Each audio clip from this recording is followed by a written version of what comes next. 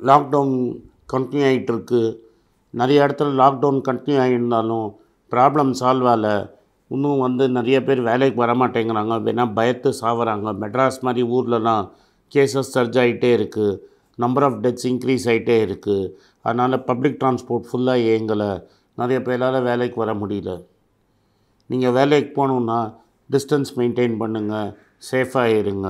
இந்த கம்யூனிட்டி ஸ்ப்ரெட்டை எவ்வளோ முடியுமோ அவ்வளோ தூரம் குறைப்போம்.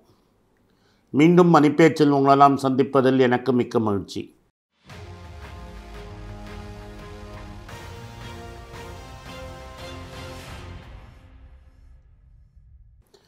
ரத்தன் டாட்டாவும் சைரஸ் மிஸ்திரியும் ஒரு ரெண்டு மூணு வருஷமாக கோர்ட்டில் ஒருத்தருக்கு ஒருத்தர் கேஸ் போட்டுகிட்டே இருக்காங்க. ஸோ நேற்று வந்து சைரஸ் மிஸ்திரி சுப்ரீம் கோர்ட்டில் ஒரு அஃபிடவிட் போட்டிருக்காரு. அந்த அஃபிடவிட்டில் படிச்சுட்டு பிஸ்னஸ் ஸ்டாண்டர்டில் ஒரு கே ஆர்கியூமெண்ட் எழுதியிருக்காங்க. போன பத்து வருஷத்தில் டாடா குரூப்பில் என்னெல்லாம் ப்ராப்ளம் இருந்தது எந்த பிஸ்னஸஸ்லாம் ப்ராப்ளம் ஆகி இன்னும் அவங்களோட ப்ராஃபிட்டபிலிட்டி இருக்குதுங்கிறத பற்றி அவர் தெளிவாக எழுதியிருந்தார். அதுக்கு ரத்தன் டாட்டா பொறுப்பாக இல்லை அவர் பொறுப்பாங்கிறது ஒருத்தருக்கு ஒருத்தர் பேச்சுவார்த்தை நடந்துகிட்ருக்கு முதல்ல டாடா டெலி சர்வீசஸ்ன்னு அவங்களோட இருந்த பிஸ்னஸ் அப்புறம் டாடா டொக்கோமோன்னு மாதிரி அது கம்ப்ளீட்டாக இழுத்து மூடுற ஸ்டேஜுக்கு போயிடுச்சு. அதை ஷே அதை வந்து ஒன் பில்லியன் டாலருக்கு யாரோ வாங்குறதா இருந்தாங்க. ஆனால் இவங்க ஃப்ரீயாக கொண்டு போய் ஏர்டெல்லுக்கு கொடுத்தாங்கன்னு இவர் குற்றச்சாட்டு போட்டிருக்காரு. அது மட்டும் இல்லாமல் அந்த ஸ்பெக்ட்ரம் கேஸில் சுப்ரீம் கோர்ட்டில் பதினாலாயிரம் கோடி இவங்க மேலே டிமாண்ட் இருக்குது இது ரத்தன் டாட்டா கவனிக்கலைன்னு சைரஸ் மித்ரி சொல்லியிருக்காரு. டெலிகாம் பிஸ்னஸை சரியாக நடத்தலைங்கிறதுனால தான் சைரஸ் மிஸ்ட்ரியில் முதல் குற்றச்சாட்டு. ஸோ இந்த டெலிகாம் பிஸ்னஸ்ங்கிறதுல போன பத்து வருஷத்தில் டாடா கம்பெனிகள் பல லட்சம் கோடிகளை நஷ்டம் படுத்திடுச்சு அடுத்தது ரெண்டாயிரத்தி எட்டில் டாடா கோரஸ் அப்படிங்கிற க- கோ- கோரஸ் ஸ்டீலுங்கிற கம்பெனியை tip at the top of the cycle பல ஆயிரம் கோடி கொடுத்து ரத்தன் டாட்டா பிட்டிங்கில் வாங்கினார். அன்றைக்கி பிட் பண்ணாங்க. நான் நேரம் என்ன சரியில்லை. அன்னிலேருந்து ஸ்டீல் விலை இறங்கி யூரோப்பில். அன்னிலேருந்து இன்றைக்கி வரைக்கும் ஸ்டீல் டிமாண்ட் பிக்கப் ஆகலை அதை சரி பண்ண முடியாமல் ரொம்ப தவிச்சிட்ருக்காங்க இந்தியாலையும் சவுத் ஈஸ்ட் ஏஷியாலையும் பண்ணுற லாபம் தான் அந்த கம்பெனியோட நட்டத்தை அழிக்கிறதுக்கே தன்னால் போயிட்டு இருந்தது அதை வெளிவரத்துக்காக டைசனுங்கிற ஒரு ஜெர்மன் கம்பெனியோட ஒரு ஜாயிண்ட் வெஞ்சர் போட்டு அதை எப்படியா தள்ளி விடணும்னு பார்த்தம்போது யூரோப்பியன் காம்படிஷன் கமிஷனுக்கு அது ஒத்துக்கலை. இன்றைக்கி வரைக்கும் அந்த கம்பெனி கோரஸை கம்ப்ளீட்டாக அவங்களால கை விட்டு வெளில விட்டு வர முடியல. இன்னும் ஸ்ட்ரகிள் பண்ணிகிட்ருக்காங்க அதையும் அந்த கு அதையும் ஒரு ஹாட்ஸ்பாட்டாக கரெக்டாக காமிச்சிருக்காரு. மூணாவது நானோ அப்படிங்கிற காரை ரத்தன் டாட்டா ட்ரீம் காராக தர தயாரித்து அந்த கார் ஃப்ளாப் ஆகிடுச்சு அதனால் அந்த அந்த ஒரு கார்னால் பல ஆயிரம் கோடி நஷ்டங்கிறதையும் அவர் சுற்றி காமிச்சிருக்காரு.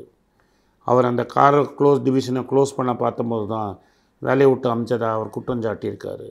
அதுக்கப்புறம் போர்டு அந்த கார் அந்த பிளான்ட்டை மூட சொல்லிடுச்சுன்னு சொல்கிறாரு இன்றைக்கி வரைக்கும் அந்த பிளான்ட்டு மூடலை.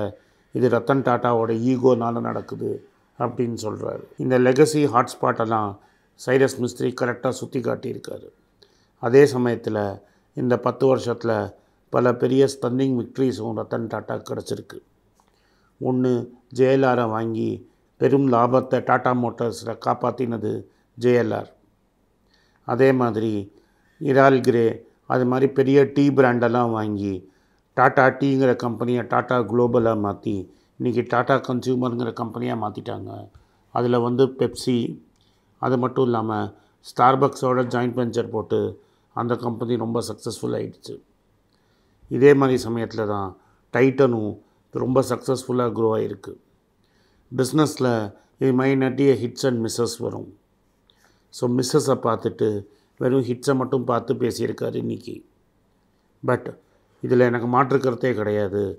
இந்த எஃபிடேவிட்டில் இந்த மூணு பெரிய மிஸ்டேக் அவர் காமிச்சது உண்மை. இந்த மூணு தவறுகள்னால் டாட்டா ஷேர் ஹோல்டர்ஸுக்கு என்ன மாதிரி டாட்டா ஷேர் ஹோல்டர்ஸுக்கும் நஷ்டம் இருக்குது டாட்டா குரூப் கம்பெனிக்கும் நஷ்டம் இருக்குது பல லட்சம் கோடிகள் நஷ்டம் இருக்குது ஒன்று டெலிகாமில் அவங்க பண்ண லாஸ் ரெண்டாவது டாட்டா ஸ்டீலில் கோரஸை வாங்கினது தப் பீக் ஆஃப் த சைக்கிளில் தப்பாக வாங்கினது. மூணாவது நானோவோட ஃபெயிலியர் இதில் வேணால் நானோவோட ஃபெயிலியரை வந்து அவங்களால அவாய்ட் பண்ணாமல் இருந்திருக்க முடியும். பட் டாடா டெலி சர்வீசஸில் ஜிஎஸ்எம்முக்கு பதிலாக சிடிஎம்இயை முதல்ல இப்போ அக்செப்ட் பண்ணது ஒரு பெரிய தப்பு. முதலே ஜிஎஸ்எம்முக்கு போயிருந்தாங்கன்னா இன்றைக்கி டாடா டெலிகாமில் ஒரு பெரிய பிளேயராக இருந்திருப்பார். ரெண்டாவது அந்த ஸ்டீல் கம்பெனியை அவ்வளோ விலைக்கு கொடுத்து வாங்கியிருக்க வேண்டாம். ஆனால் ரெண்டாயிரத்தி ஒம்போதில் ஹவுசிங் மார்க்கெட்டுக்கு கவுறதுக்கு முன்னாடி இவ்வளோ தூரம் மார்க்கெட் கவுருங்கிறது யாரும் எதிர்பார்க்கல. அவர் பண்ணாத ஒரு பெரிய தப்பு. இப்போ இது வந்து கடைசியில் கோர்ட் வரைக்கும் வந்துருச்சு. ஒரு கண்ட்ரோல் ஸ்ட்ரகிள் போயிட்டுருக்கு. பட் இந்த கண்ட்ரோல் ஸ்ட்ரகிள்ங்கிறது ஒரு battle of unequals Cyrus Mistry குடும்பத்துக்கு பதினெட்டு பர்சன்ட் ஸ்டேக் இருக்குது டாடா சன்ஸில் ரத்தன் டாட்டா கண்ட்ரோலில் எழுபத்தி ரெண்டு பர்சன்ட் ட்ரஸ்ட் மூலமாக இருக்குது எண்பத்தி ரெண்டு மீதி எண்பத்தி ரெண்டு பர்சன்ட் ரத்தன் டாட்டா கிட்ட கண்ட்ரோலில் இருக்குது இந்த கிளாஷ் பிட்வீன் சைரஸ் மிஸ்திரிக்கும் ரத்தன் டாட்டாக்கும் ஒரே வழி ரத்தன் டாட்டா வந்து சைரஸ் மிஸ்திரியோட ஷேர்ஸை விலைக்கு வாங்கிக்கிறத தவிர வேறு ஒன்றும் கிடையாது. ஏன்னா மிஸ்திரி ஃபேமிலிக்கு இப்போ அர்ஜெண்ட்டாக பணம் வேணும்னு நடுவில் ட்ரை பண்ணும்போது இந்த ஷேர்ஸை ப்ளெட்ஜ் பண்ணக்கூடாதுன்னு டாட்டாஸ் உள்ளே பூந்தாங்க.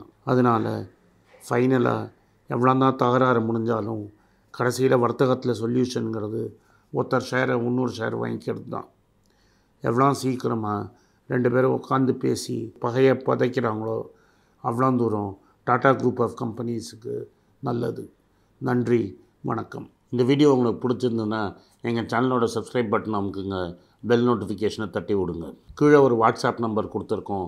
யாருக்கெல்லாம் என் புஸ்தகம் வாங்கணுமோ எங்கள் அங்கே நம்ம நம்பர் அனுப்பிச்சிங்கன்னா எங்கள் டீம் உங்களோட கூடிய சீக்கிரத்தில் டச்சுக்கு வருவாங்க. கடைசியாக யாரெல்லாம் என்னை டைரெக்டாக காண்டாக்ட் பண்ணணும்னு நினைக்கிறீங்களோ money page Gmail dot com to বেলিকে